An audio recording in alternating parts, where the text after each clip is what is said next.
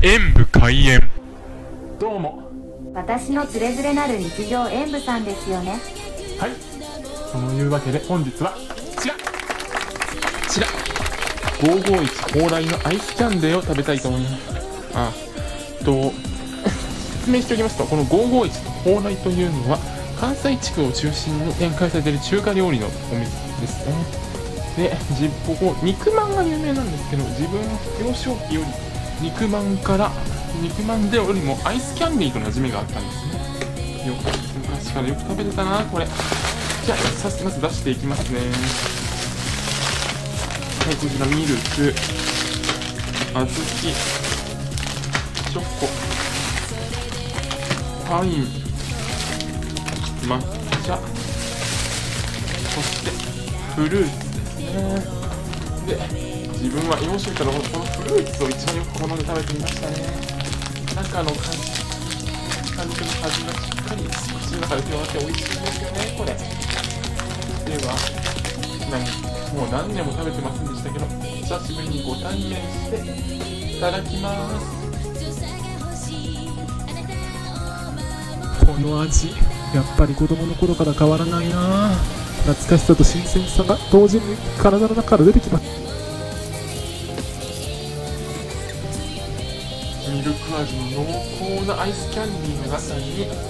ちご、みかん、パイナップルの3種類の果肉が入っていてそれを噛んだ瞬間にその果汁の甘酸っぱさが口の中にふわってなってとっても美味しいんですよ。ねこれ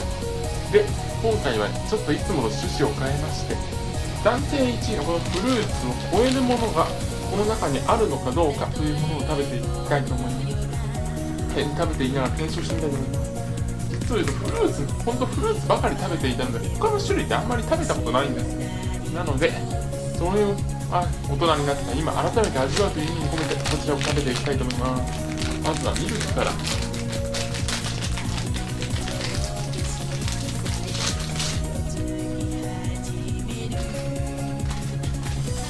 久しぶりや初めて食べる味もありますけどどれも個性的ですね。でもしっかり基本は押さえてある。すごいです。はい。全て食べ終わりました。そして一つずつ評価していきたいと思いますがまずこちら最後に出た抹茶味は濃非常に抹茶が濃厚かつ苦みがあってどちらかと甘さよりも苦さが勝っているので少々大人向けですね。でも抹茶の苦みをしっかり感じることができてアイスでここまでの苦みがすごいと思いましたのでこちらの点数とさせていただきます。苦いの抹茶が好きな方はぜひ食べてみてほしいですね。そしてちらのパインは最初のフルーツのパインの果肉が乗っちゃった果汁を凍らせたようなパターンでちょっとかき氷っぽい感じがしましたね。ただ甘酸っぱさはしっかり感じられてシャキシャキ最後まで心地よく食べることができましたのでこちらの点数とさせていただきますフルーツ一緒というのもいいですね。ではその次。ちらのチョコは思っていたのと違ってかなり苦みが強かったですね大人になっている今なら美味しいと感じることができましたがもし幼少期に食べていたらチョコ苦手になっていたかもしれません、ね、か苦みが強いので好みが分かれるチョコレートだと思いますのでこちらの点数とさせていただきます。冷たいもの食べ過ぎが舌が。回らなくなってるそしてこの4つ目小豆。これもさっきの抹茶と一緒で結構固めのアイスキャンディーの中にあ豆の食感も入っていましたのでホクホクとした味わいがありアイスキャンディーでここまでやって結構それ井村屋さんの小豆バーに近いような感じですがあれよりもさらにちょっと固めで小豆の食感が感じられます。ね小豆好きの方にはおすすめできますのでこちらの点数とさせていただきます。自分の好きな